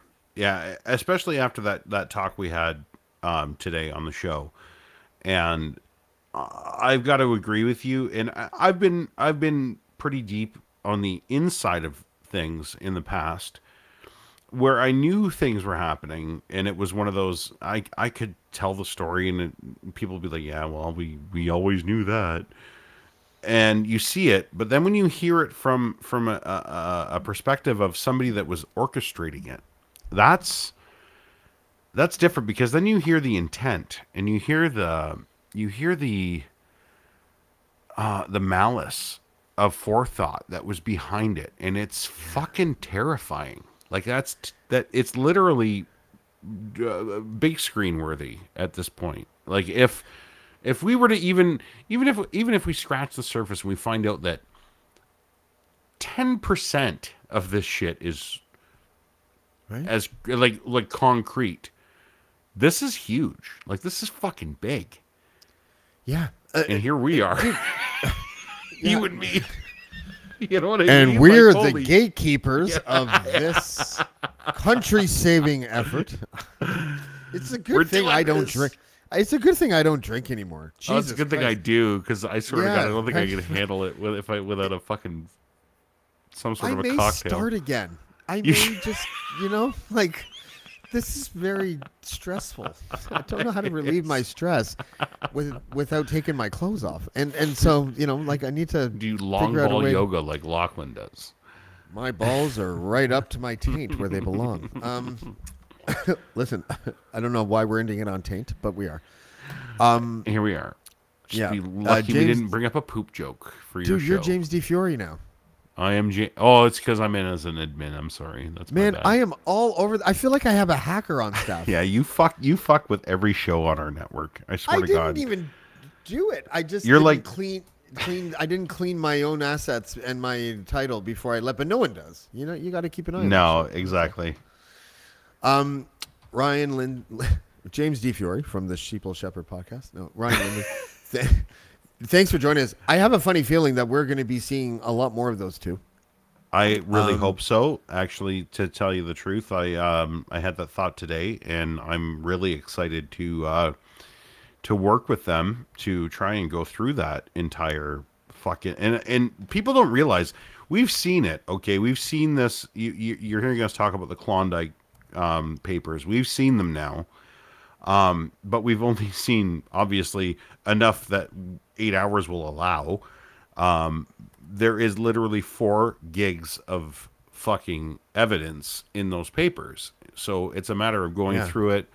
And yes, we may not be mainstream media. We may not be, you know, God. whatever you want to call it. But I would hope that you would think that we're going to present it to you guys in the audience as though I would present it to my wife or I would present it to my neighbor and be like, holy fuck, guys, check this out. Look what I just found. If I found it Yeah. on the street, you know, like that that's what podcasting like that's the the beauty and the license that we get while we're in here. And I, I I'm excited for that part. I'm just not excited for the fact that does this mean we have targets on our backs now because we have this in our possession? Well, I don't know if you were listening, Ryan, but we have Big Daddy uh, Jacobson who is going to become our protector, and that to me, is, I, like, look, I, I'm sort of joking, but I'm not really joking. Like, I, I you know, like we need. I, I- I'm not. I'm going to feel more comfortable if I can have a former Mossad agent as my as my backup. Allegedly, maybe. Who knows? He's got attack poodles for fuck's sakes. He's We'll got an fine. infidel shirt he got in Afghanistan. That is the toughest fucking guy I've ever met. Like you don't do that. Um, but you know, all jokes aside, I'm really tired. Um, and, Yeah, and I too. think um, this day was a long day, but tomorrow is basically day one of um, of seeing what we can do as far as um, breaking stories by early next week. That's what I would Agreed. say. Agreed. And, And, we've got let's do this uh, together. Let's do this as an as, as Oh. a family. You know, Yeah. like Oh yeah. um, my, me, you, and Dean are probably going to be mostly involved in this, and I, I- think that um, working together on this is going to be. This could change the whole game. Like I you think know, this might actually change some things here. To tell you the truth, um, Mm-hmm. uh, be it good or bad. Uh, but at the end of the day, I don't care as long as it's the truth. I'm fine with whatever outcome comes from it, and um, if that's what we uh, either the the hill we prevail on or the hill we die on, I'm happy as long as it's true. That's and, and I'm just kind of happy to know that if I do end up getting murdered, Yeah. that it might not be my wife, which is No, it probably won't be now. Now we've we- we've given options to the police when they're investigating your death. It's going to be great. Well, oh, actually, if my wife is listening, you're probably in a pretty good position to actually kill me. She's Beca- but I know you're not listening. But if you were, because now you could just blame it on the crazy church. Like it's never been a greater time for you to. It was definitely a religious uh, religious homicide. Yeah, that's right. Um, Uh, before before yeah. we go, really quickly, uh, if I don't, if you don't mind, and because the only reason why I'm doing this is because it's so late at night. I thought it would be fun, and we have a lot of our our regular uh, guests um, joining us in the chat. Um, coming soon to the Dean Blundell Network is a uh, very cool um, idea that we have come up with, and it's going to be a uh, Dean Blundell Show Roundup, uh, a weekly podcast of some insider dirt on the hosts, on the guests. Uh, you might see some things you missed in the show, a little more of a deep dive, uh, getting the fans involved as well. So if you are a regular subscriber to the show and you are a regular contributor to the show, you may be pulled by a certain somebody that might live in my house to join her on her new podcast called the DBS Roundup, and uh, that'll be Oh, this is Ashley's in- podcast. Yeah, this will be coming up in the next couple of weeks. Great. Uh, I didn't tell you. I probably should have let her tell you, but she's asleep and I'm drunk, so I can tell everybody whatever the fuck I want. So I'm sorry. yeah. Let her. Let her. Excuse me. Allow her. Like, what do allow. you her? I'm sorry, allow. Okay, I yeah, shouldn't have said what- let. I should have said allow, right? Because of the church thing. Yeah, you're right. I'm I'm sorry. You're right. Under Um, his eye, that sounds everybody. awesome. Um, yeah, it's gonna be a good time. She's on not only like super smart, but she's fucking hilarious. And she's great. And you know what? It, she she's when we do a Sheeple Shepherd podcast, I'll I'll be I'll I'll level with you guys. She does all the work when it comes to research. Um, I am literally there just as a bounce ball, and it's her that drives every all the content is driven by my wife. So she's incredible as a host, and uh, you're gonna love this uh, this this roundup thing. Is it a gonna solo thing? Is she going to be by herself? She's going to be by herself, but she's going to bring on uh, guests every show. Uh, be it yeah. a fan, like it could be a fan of the show, it could be one of us from Yep. the network. She can bring on whoever. She can bring you on. She can bring Bonzi on. She can bring Dean on. She can bring whoever uh, whoever she uh, deems uh, needs to be on to explain some things further that we speak about on the show uh, every day at three o'clock. So Okay, that's um, great. I- yeah, it's a bit of can't it's a bit of a rip off of uh, like you know like the Talking Dead and the Howard Stern wrap up show idea, but it's, it's not. very good and uh, it's interactive, and we want to make sure that we're giving a little more back to the fans um, that do subscribe and they come in here and they, they dedicate their uh, their their their time with us. We want to make sure they get a bit of a voice if they want to come on and chat some shit. It's going to be a good time. So awesome. thank you for letting me use the end of your show to plug that. No, Um, I'm, I'm not even gonna like take you out and then say anything for another five seconds. We're, No, we're it's okay. Take, no, do it. Yeah, no, No, no. close it out. Um, I love you. Fuck Good that. night, and thanks for having I love me you too. tonight. I love you too. Um, Ryan Lindley, Sheeple Shepherd, Sheeple Shepherd podcast, and the Dean Blundell show. Um, I have nothing to say. I think I've said it all. I think you guys need to go to bed. I'm gonna call my muse as soon as this is over. So don't go to sleep yet. Um, and we're gonna see you next time on Blackball tomorrow. Actually, uh, Richard Marsh, the man that we were talking about tonight, that got excommunicated from the Plymouth Brethren cult. Um, and we will talk to him tomorrow. Until then, thank you guys for joining us. I love you all very much. And we'll see you tomorrow on Blackballed. Blackmore. Black, black, Blackmore. Black, black, Blackmore. Black, black, Blackmore.